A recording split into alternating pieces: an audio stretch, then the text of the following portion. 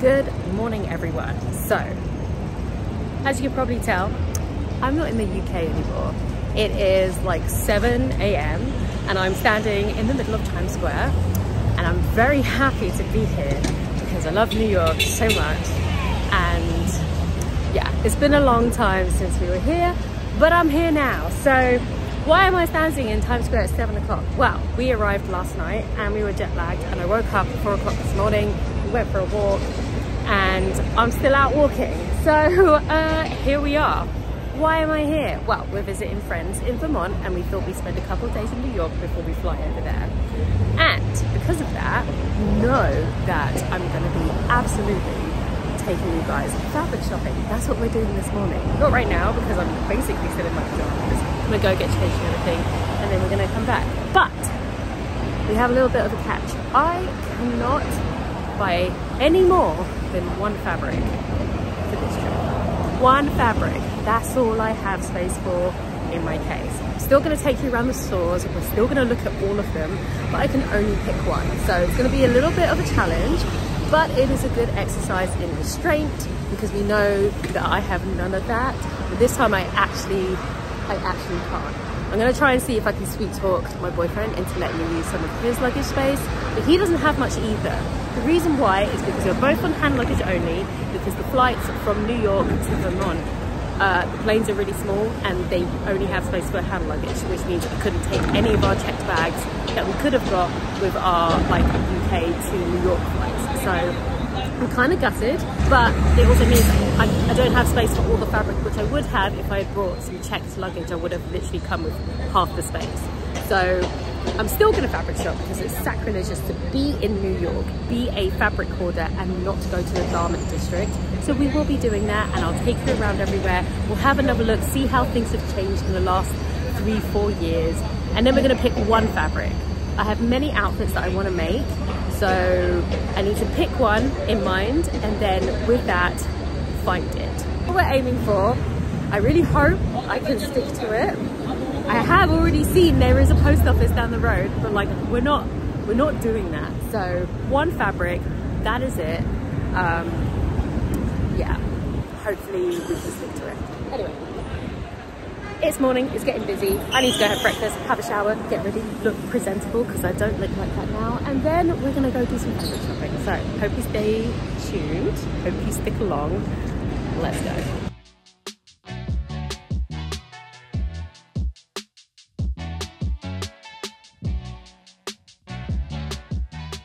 This is my day one casual New York outfit. We got the casual baggy jeans, we got my sneakers, and this top I made, it's Helper Sew. I think this is the pantsy shirt. It's super comfy and really nice and loose. And now we're gonna go and hit the city streets. right,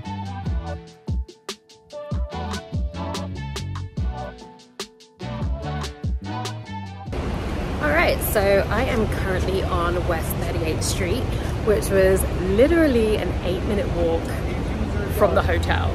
So I feel like we picked the location very well. Uh, I'm walking towards Mood, that's where we're heading to first.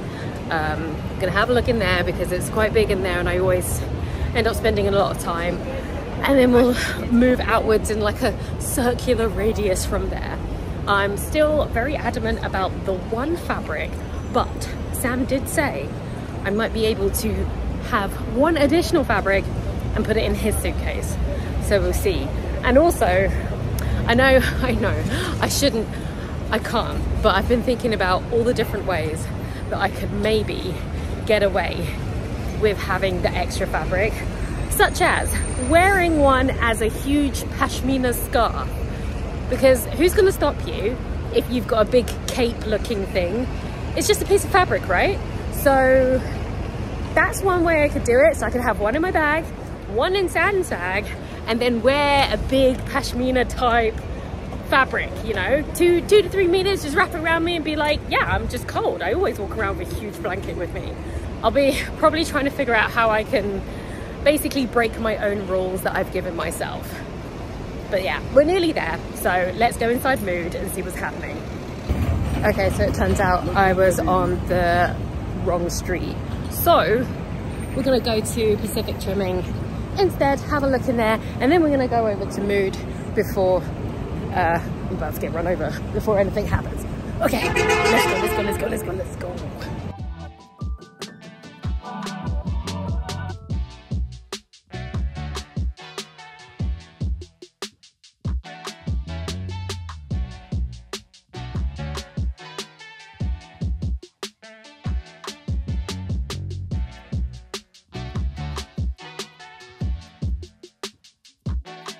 Okay, so we are out at Pacific Trimmings. I'm literally just walking one block over to Mood because I got completely the wrong street. And I'm gonna close my eyes, not look at any other fabric place until we find Mood. Now, I think with all the little plans that I've been making, maybe I can sneak five fabrics. Five. I know, it might be too ambitious. We're gonna see. All right, let's get turning the corner off to Mood exciting.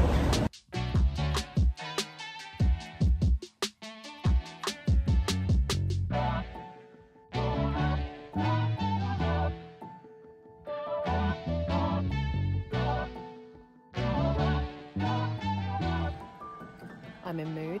I just got here. They have Wi-Fi. Amazing. So already I see a thousand things that I want and yeah so the budget has been slowly increasing from one fabric to two to maybe three to maybe five if i'm going to wear a headband and maybe a scarf and a turban who knows? I would like some coating. There is a coat that i want to make this year um, some denim possibly colored denim possibly. And yeah there are a few dresses and stuff that i want to make in different fabrics so we'll see. We'll see what pops out at us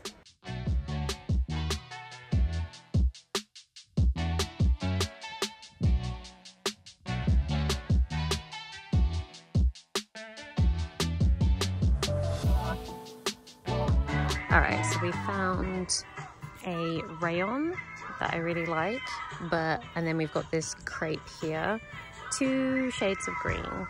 Uh, it would be to make a dress with a matching jacket, a pattern that I recently just got. This one is probably better suited and it's got a little bit of stretch to it, but this is the color that I like. So we don't know. Anyway, two choices right there.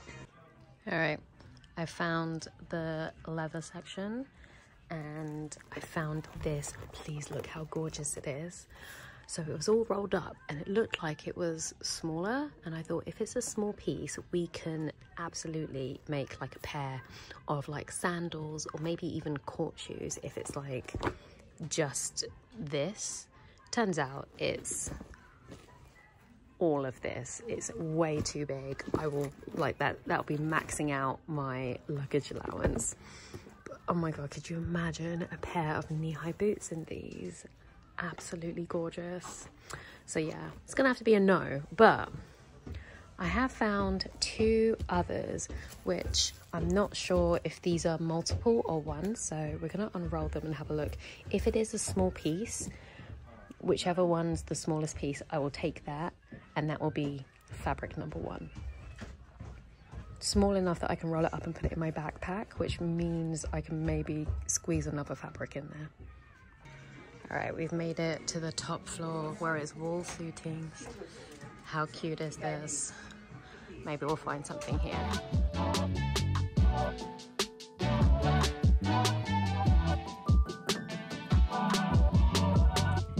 So we are at the solid wool coating, which is kind of what I'm looking at. And I was going to go for camel because I was like, you know what? This year we're going to have a camel coat. But I also really like wearing green. We know that green is my color. So now I'm like, do I want camel or are we going to do a green wool coat? Like we're thinking Max Mara style, um, which everyone has in this color. But would I get more wear out of it if it's in like my standard army green or like this kind of teal green? Who knows?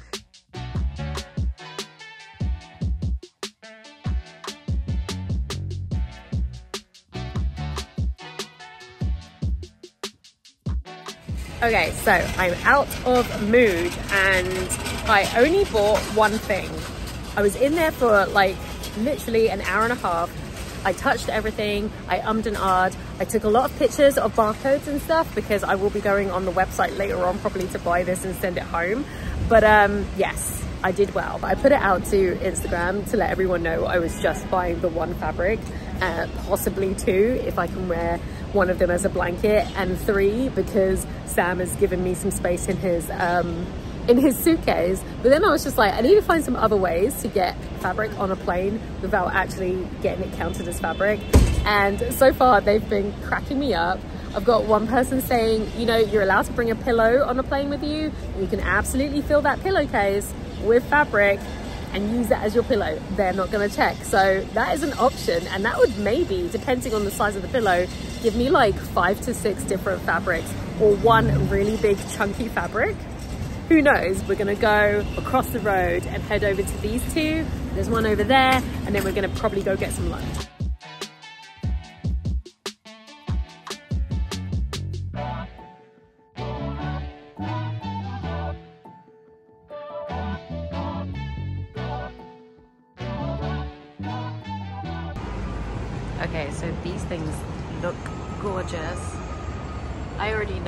Don't need anything in this store, but I'm gonna go and have a look anyway. We're just looking for looking's sake. Please. Gorgeous. Love it.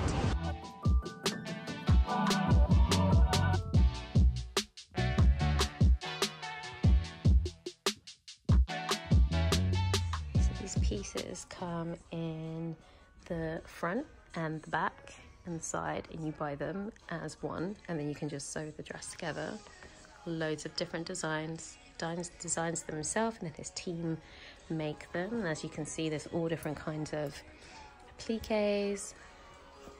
This one absolutely gorgeous. This is a skirt so that's the front and then there's a back piece and then you can put whatever top you want. But look at it. So gorgeous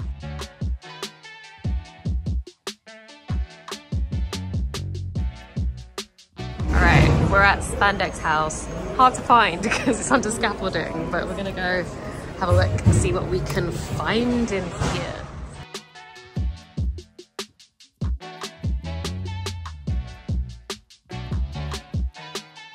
Okay, I just went to a haberdashery, completely forgot to film it because I was like, oh, let me look in there. And I found some zippers, lots of zippers. I'm collecting zips because I plan when I get back to start on my boot making journey um, and I'm gonna need a few zips for that. So turns out zips are not cheap especially the good sturdy ones in the colors that you like. So I just spent $83 on zips by themselves. Madness. I've got one fabric 8,000 zips and part of me thinks maybe I should call it a day but another part of me really wants to look at more fabric. So I'm gonna decide if I'm gonna do that over some food. So I was just standing outside stealing um, Starbucks Wi-Fi so I could post some pictures and I saw this in the window so we're going over there. I know there are loads more but I'm gonna go to like the big ones because I'm running out of time.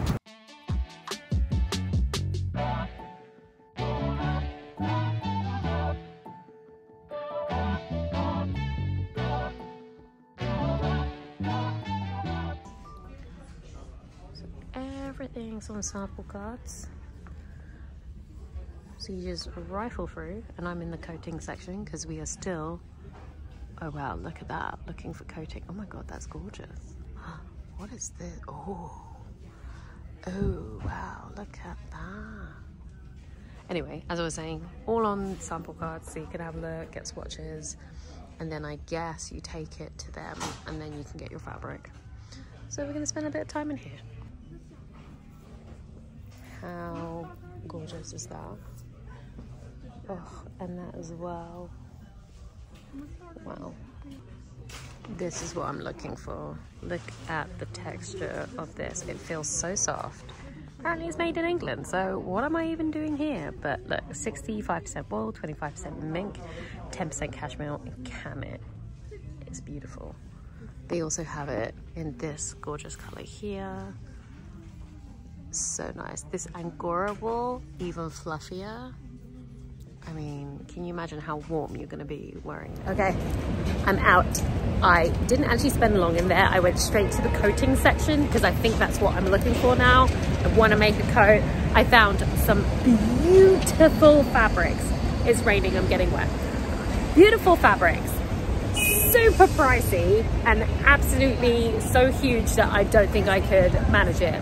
They ship internationally. I think I will bite the bullet not now when I get home and buy one of them. I did get samples though, and they're quite nice hefty samples. So when I get out of the rain, I will show you them because they are so beautiful that I absolutely have to get it. And the price, even though they are pricey, you would absolutely be paying like six times that for the coat by itself. So that is the girl math that I'm doing to justify the purchase. I think I'm gonna go inside now. I think I'm done. I've got one fabric and a bunch of zips. I think I did really, really well. I really thought I was gonna be looking crazy on a plane, but I think I'm ready to call it a day. Who knew I would be so good? I'll show you when I get back to the hotel what I got.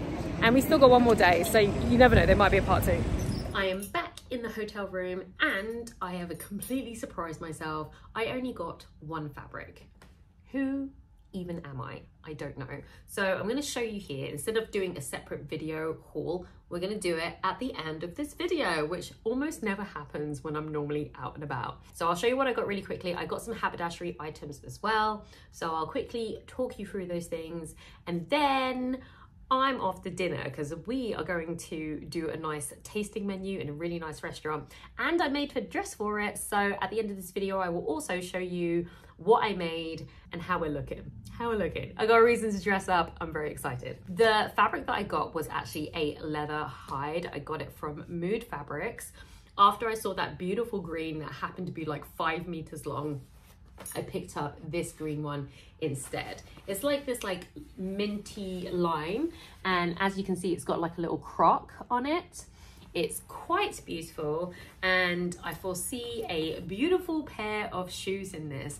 As you know, I am completely obsessed with making shoes now, so that's what it's gonna be. This is, um, says here, it's eight square foot, I don't know. It is quite large, so I definitely have enough to get a pair of really nice court shoes. I'm thinking a pointed pair with a stiletto heel would be really nice. And if I do it properly, I might be able to squeeze a little something else out of it, maybe a sandal with some straps. So we're gonna try and be very good. And I think this is a lambskin because it's very, very um, thin, but it's also buttery, buttery soft. So that is what I got. There is still time tomorrow to go get some more stuff, but I'm really gonna try to not do that.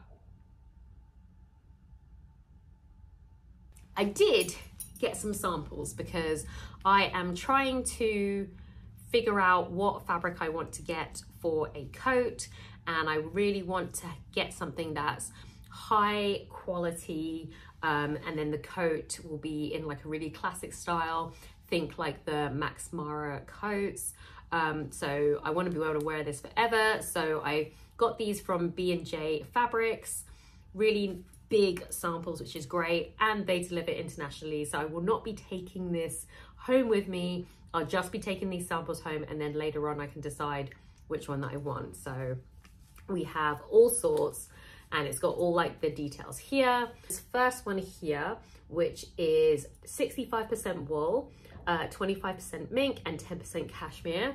It's really pretty. The color is in camel and this one is $62 and you can see it's got really nice sheen to it. We've got this one which is wool Angora. So if I'm not mistaken, Angora is from the big fluffy rabbit that they um, use the downy fur from. This one is 100% wool Angora and the color is called Bison. You can see this one is a lot thicker and it's got a really nice like fluffy sheen to it. Beautiful. This one is 79 uh, dollars a yard. Next, we've got another wool angora. This one has, as you can see, like a stripy texture. So it's definitely textured. Um, the color is called nutmeg. Really, really pretty. A little bit thinner than the other one. And this one is 82 uh, 95 a yard. Now my two favorites, which of course are the most expensive one, we've got this one, like you can see, look how thick that is. So thick. This one is 90% uh, virgin wool and 10% cashmere. And this one is $125 a yard. Um, not sure what the color is, but I would say like light beige. And this one's really nice. And finally, my very, very favorite one. This one is green. I think it would be gorgeous, but look at this deep, deep green. Beautiful. And if you can see, you can see the sheen on that and you can see like that's fluffy. That's really nice and fluffy. This one is 75% alpaca and 25% wool. So as you can tell it's really nice and thick as well. This would be super super warm and the most luxurious coat you can imagine. And it's $155 per yard. And if you're making a Max Mara style coat, they're normally floor length or at least ankle length. So we're looking at like four maybe even five yards or like three to four meters. So that's um that's quite a pricey coat. But even if you were to add that all up, it's still cheaper than actually buying a Max Mara coat, which are like two two grand upwards depending on length and color and fabric. So I mean, I know which one I would do. And that's what I now need to decide. So I'm gonna take these home to the UK and we're gonna decide which ones uh, we like. I'll still be looking, but like these ones are gorgeous. And I looked in Mood as well and they have some gorgeous ones, but these ones were my favorites. So I got some haberdashery items also. I'm gonna really quickly whip through them because I do need to get ready. So got some masking tape in this red because really hard to find in the UK for some reason. So grabbed one while I could. I picked up a lot of zips, mostly because yes, you can find zips in the UK, but there is a limit to the type of YKK zippers you can find and the different kinds of metal hardware. So I went for all these different colors. I went for long and I also went for short in this blue, in this green, in this uh, tan color, and in black. Long and short in both. And I did two of each because I am going to be making some boots this autumn slash winter. And I want them to be zip up boots. And these are the colors of all of the leathers that I have. And obviously you have to have two because you make two shoes left and right. So that was uh, that was why I've got so many zips. I got myself a yellow zip to match this fabric here, not for this top, but for the matching trousers, which I'll be making when I get home.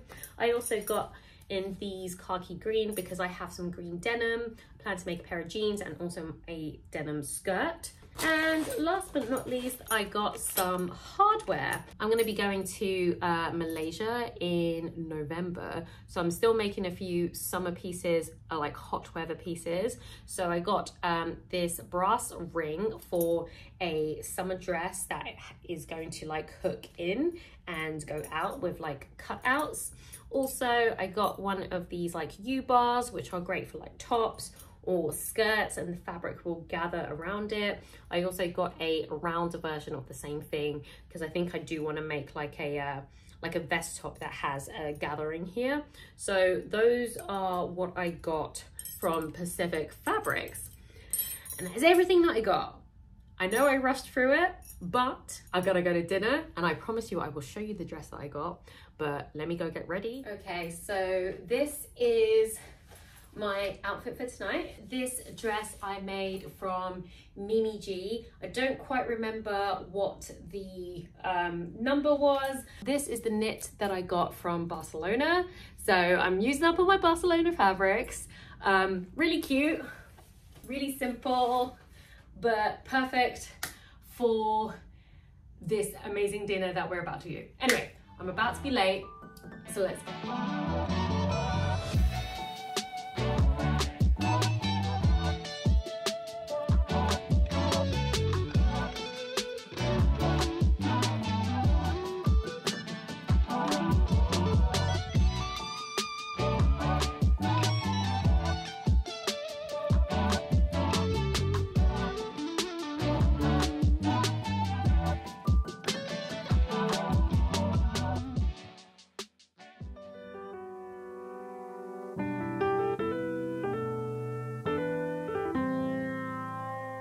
It is the next day and we are having flash floods outside. So I am still going to be doing fabric shopping because the weather never stops me and I knew that it was going to rain so I brought myself my own little raincoat. And this is amazing. Look at this. It's got its own umbrella. I also have an umbrella. The rain is like it's pretty epic. It's it's madness. But um, I'm about two blocks away I've got about two hours this morning and then this afternoon we are flying to Vermont.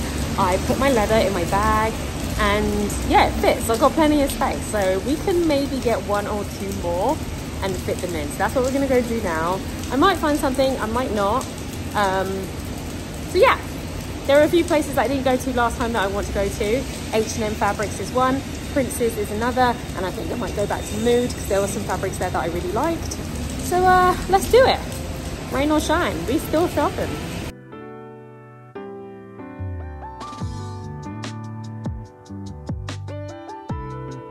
Okay, so I am outside H&M fabric. It looks like it's jam-packed full of stuff. I'm very excited to go in. There's like loads of like signs saying like sales, big sales. So I think uh, I think it's gonna be good. But this is the window. It's just full of fabric saying big sale today only cashmere. Hmm, interesting. Let's Let's have a little, oh yeah, let's go.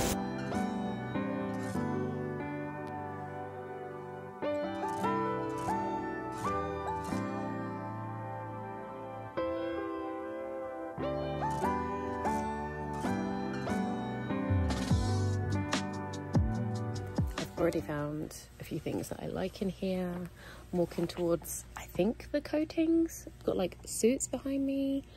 Apparently there's cashmere and it's 50% off so let's have a look. Maybe it's um maybe we can find the same type of cashmere but not as expensive as the other place we'll see. We'll see. But um yeah there's there's like a look at look at all of that. I'm gonna get lost. And then there's a, a wall that goes up it goes there is so much here so this looks very similar to some of the samples that I got yesterday It says down here cashmere, wool cashmere, and mink for the Noblet of England.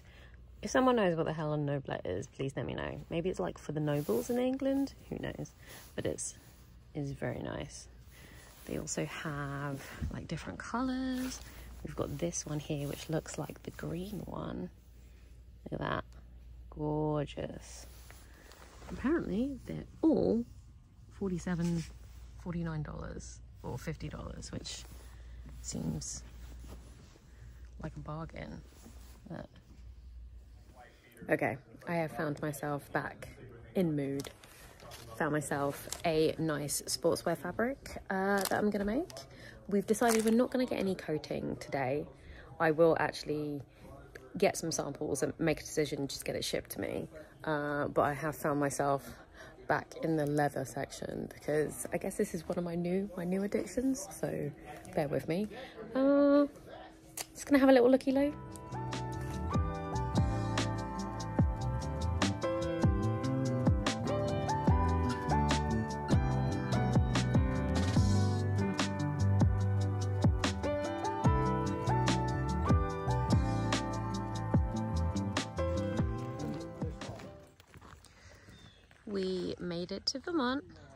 friend's place. We were just looking at the chickens. We're taking a walk because they have the whole of this is there. So we taking a nice little walk with the dogs, the hay barn, the greenhouse. I'm gonna do a nice hike. Got my hiking boots on. This is Resby. This is Oakley. Hi Oakley. Let's go. Really like yeah, really move it up. No, go down. Yeah.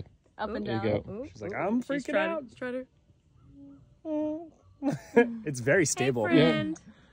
I am a farmer now. I thought it was a good idea. no, we got an egg.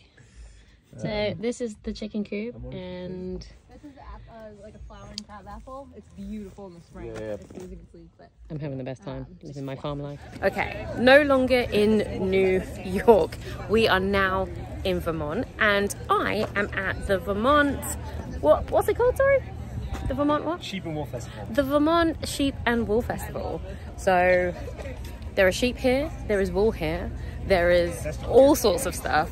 And even though I'm terrible at knitting, I'm going to have a look and maybe maybe we'll pick something up because um, fabric is fabric, you know. Um, so yeah, let me show you what's going on. I'm gonna eat some food and then uh, and then yeah, I just thought I'd let you know at the end of this vlog. All right, all right.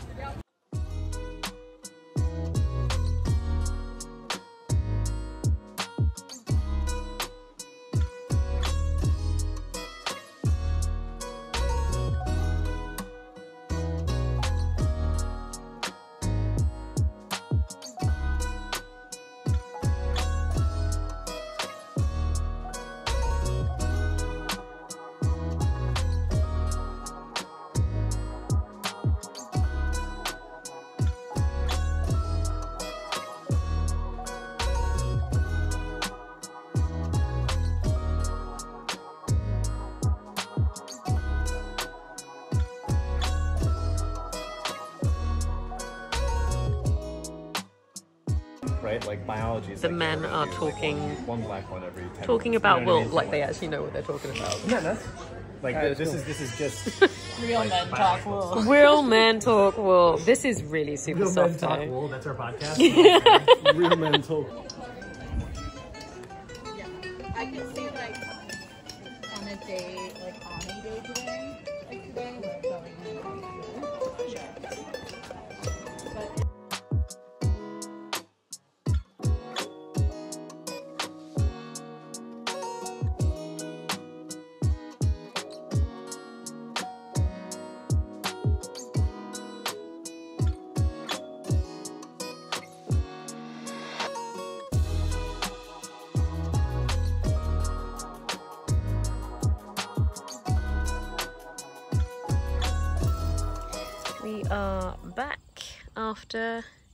look at this weather. It's gloriously sunny and oh, it's so beautiful.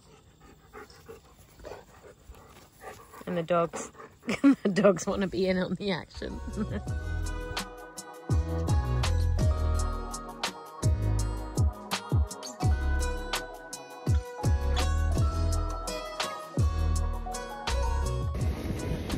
Alright guys, I'm on a bike. This almost never happens.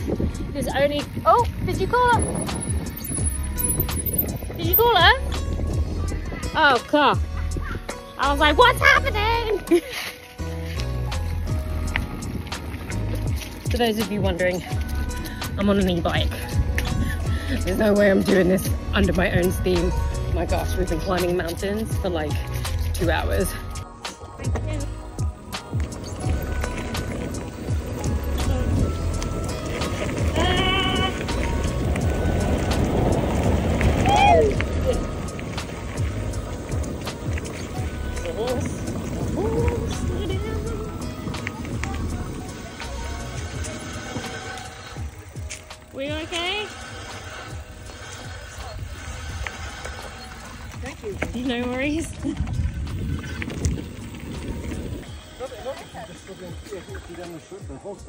I think she was just. I think she was having a hard time. I think when I was coming down, I think she was like trying to say something like, "This horse has no idea what it's doing."